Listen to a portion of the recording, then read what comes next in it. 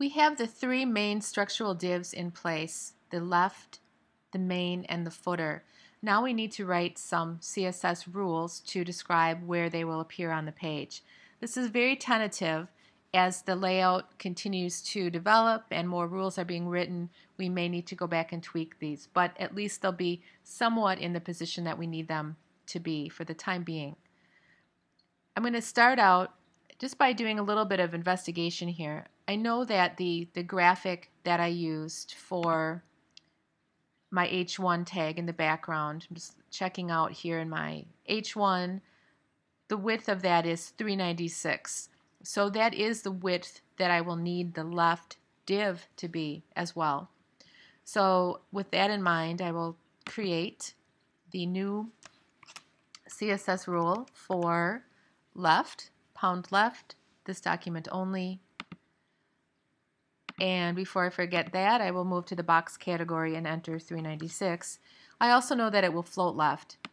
For now, that's really the only property that I need.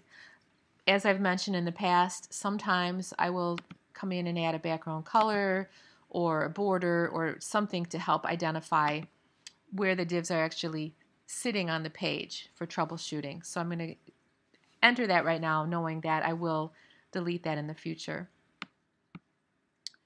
All right, so that is doing its job. It's floating, it's pushing as far as it needs to over to the left and allowing the other content to sit next to it. The next div that I'll write, or the next rule that I will write rather, is for the main div. So pound main, this document only. It will also float to the left, and it really doesn't need a width, but just to kind of contain it and hold it in place and make sense of it for now, I am going to give it a width of about mm, maybe 700. And what else? I know that it's floating left. We've done that 700, and I'll put in a lovely background color for that as well. Okay, so um, what has happened there that that did not take hold in my code? Oh, in my code, that's why I have the rule and I have div ID main, but instead of equal, I have a minus sign. Nope, not a plus sign. There we go, an equal sign. That should take care of that.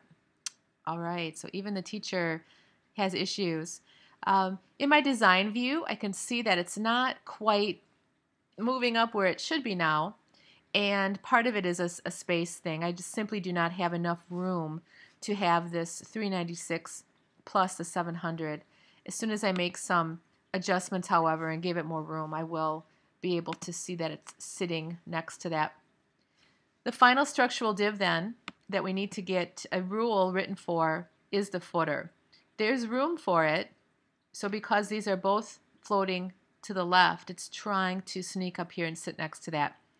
Of course, as the footer, we want it to appear under everything new rule. And it can either be an ID or written in the compound section. Footer. And its main job is to just clear anything that may already be floating. So box category, clear both.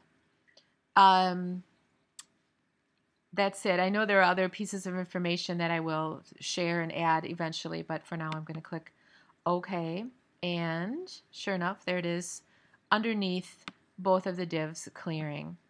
Now while I'm here, even though it's not a structural div, there are things that I know about this layout. I know that the background color is orange, and I know that the text for the most part is a sans serif font. So because those are kind of main properties that need to be inherited by all of the other rules, I'm going to create a body rule and write those rules, write those properties within that. So new rule, and um, this is actually a tag, but again, you could you could write it in the compound just to save yourself some time. And let's see, I know that the background color is the lovely orange, and I don't really have a sample of it, but I'm going to choose this. And the type, I will choose a sans serif family. I'm going to do the Trebuchet Arial Helvetica. Okay, so we have the main things in place. At least we have things in the position, although uh, lots of work to be done yet.